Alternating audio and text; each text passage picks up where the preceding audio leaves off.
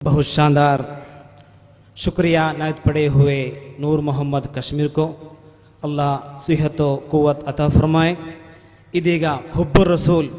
ಎಂಬ ವಿಷಯದ ಕುರಿತು ಇಲ್ಲಿ ನಮಗೆ ಪ್ರೌಢೋಜ್ವಲವಾದ ಭಾಷಣವನ್ನು ಮಾಡಲಿಕ್ಕ ಮಾಡಲಿಕ್ಕಾಗಿ